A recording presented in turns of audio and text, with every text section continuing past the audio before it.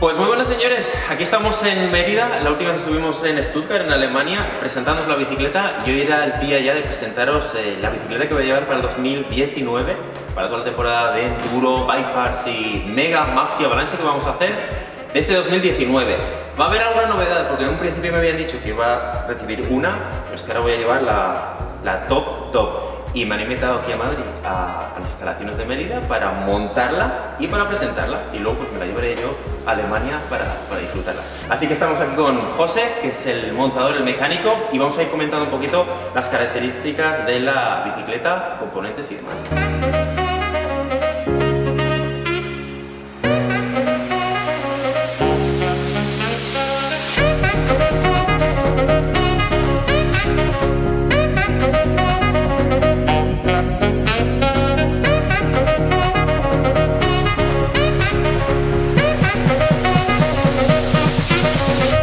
Pues ya hemos quitado el primer eh, desembalaje.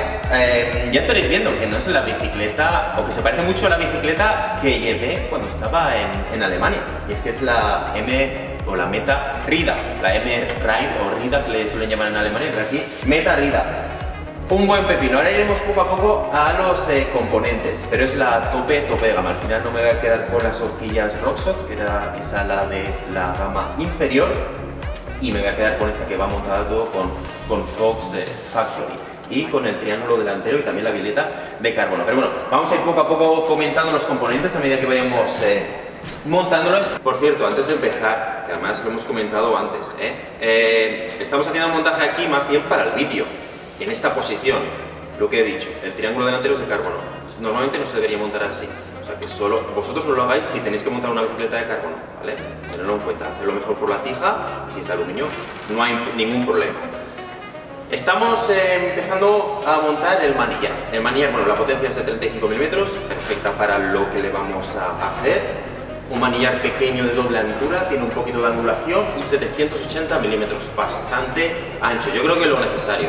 En rally yo soy de 700 milímetros, pero en enduro necesitamos esto. Además, si le vamos a meter las cubiertas, eso lo diremos al final del vídeo, unas cubiertas un poquito más anchas, este año estuve con 2.25, yo creo que 2.25 para hacer enduro está bien para aprender, pero una vez ya empiezas a ser un poco más agresivo, dependiendo también de los eh, tramos que vayas a hacer, pues yo creo que 2.25 se queda un poco corto, 2.4 bien, y lo dicho, más adelante ya será en otro vídeo, pero algo comentaremos de las ruedas que les montaremos que no serán estas máximas. Aquí viene montada y vamos allá por, por partes, ¿vale? Vienen montadas con unas eh, ruedas de carbono, unas FSA. En principio tengo también mis dudas de carbono y carbono, ¿vale? Hay que tener en cuenta que sí que es una bicicleta top, una bicicleta para, bueno, lo que llevaría cualquier campeón o ganador de cualquier prueba de enduro. Em, 170 milímetros con la 170 milímetros creo que tiene, si me equivoco en algo lo pondré debajo, pero 170 milímetros delante y 160 detrás y luego tiene unas llantas de carbono FSA. Claro, han salido, salen muchos vídeos en Instagram y demás por si las, eh, bueno, que el carbono a lo mejor es un poco débil, hay gente incluso le empieza a pegar eh, a los aros de carbono contra una esquina para demostrar que funcionan y son fuertes.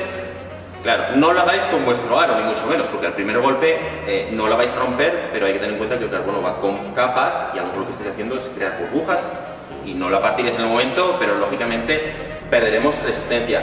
Pero yo creo que es un buen componente ruedas de carbono en enduro porque son mucho más reactivas, pesan menos y tienen mucha más aceleración.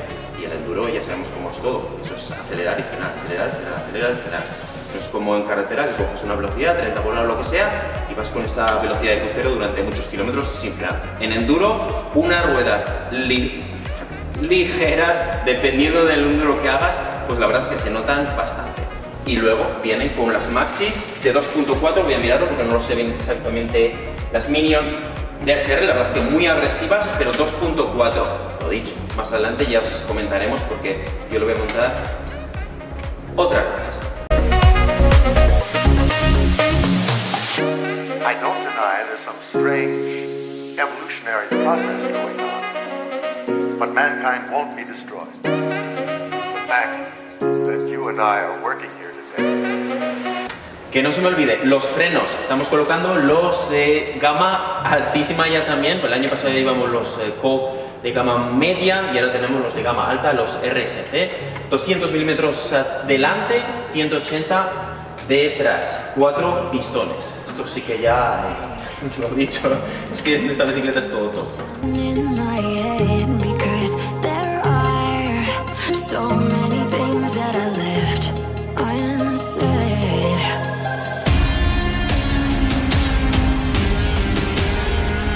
La transmisión, la GX, también lo que teníamos el año pasado con la 140. GX 32 delante. Aquí tiene una especie, no es ningún desviador, es un guía cadenas, no como los que llevan los de descenso.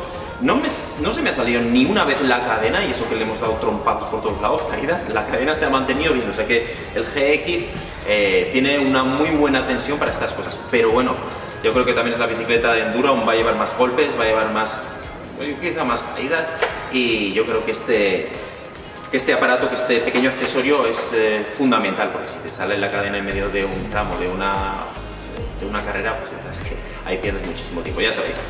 GX con el 1050, ¿vale? La verdad es que es un plato muy bonito y para ser el modelo que es, que es gama media alta, pues la verdad es que pesa bastante poco, ya lo sabéis.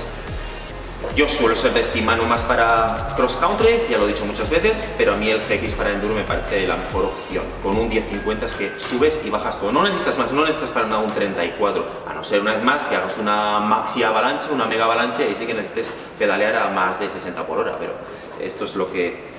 Esto es, yo creo que lo necesario y lo mm, suficiente para el 99% de, los corredores de enduro. Seguimos, ahora montaremos la tija, la tija telescópica es de 150 milímetros, también creo que es bastante interesante, ya que el año pasado tenía 125 milímetros con la 140 y ya decía yo muchas veces que a veces me quedaba corto, si quería pedalear bien pues perdía unos 5 centímetros abajo y cuando bajaba la tija pues eh, tenía, me faltaba ese movimiento, un poquito más de movimiento si el sillín hubiera estado más bajo, pero con 150 milímetros pues eh, todo bien. Cost, que no lo he dicho pero también pues, hay que comentarlo, 110 de de delante, ahora tengo que decirlo, es 12 milímetros o 15 milímetros el 15 y detrás será 12.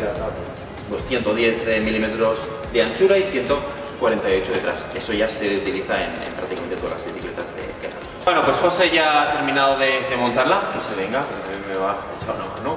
Eh, vamos a pesarla ahora. También la talla, una L, llevo yo. Es un poco entre, es un poquito más larga que la 140. Eh, o sea que para velocidades eh, rápidas o tramos rápidos será mejor. Cuando sea algo un poco más ratonero, pues a lo mejor me cuesta más, ¿vale? También hablaremos, quiero hacer un vídeo sobre el ajuste de la suspensión y de la horquilla, pero eso ya será más adelante. También me han comentado, porque les he dicho, yo lo primero que voy a hacer en esta bicicleta es eh, tubelizarla. no hay ningún problema, el aro ya está con la cinta, ya te viene incluso con las eh, válvulas, o sea que perfecto. Incluso también un guardabarros que se está poniendo en moda y ahora mismo todas las bicicletas del Y para Alemania, cuando vengan las, las lluvias, cualquier día que salgamos, prácticamente le vamos a hacer uso. Así que nada, vamos a pesarlo ahora. ¿Sabéis cuánto pesa? ¿Cuánto pesa? ¿Cuánto creéis? Escucha, una cosa. A proponer un sorteo, el que quede más cerca. Que una bicicleta. No, no, te doy una gorra o algo así. ¿Y se la mandas? Esto no lo voy a cortar, está ahí David justo detrás que no quiere salir en la cámara, da igual, que no salga, pero la voz atrás. Y acabo de decir, oye, ¿por qué no haces un sorteo? Bueno, lo dejaré, supongo que el micro lo, lo pillará. Voy a hacer esto, vamos a hacer un sorteo. Eh, que regale Mérida una gorra o algún botellín o alguna cosa así, ¿vale? Si acertáis el peso, podéis buscarlo en internet, pero yo creo que no va a ser el mismo, que siempre hay un poco ahí de... Ya habéis visto cómo está la bicicleta, y el siguiente vídeo que será dentro de dos semanas, una o dos semanas, pues pondré, o en Instagram, pues pondré el peso. Así que ahora vamos a pesarlo y nosotros eh, borraremos esta, esta parte de aquí, pero escribirlo justo en los comentarios.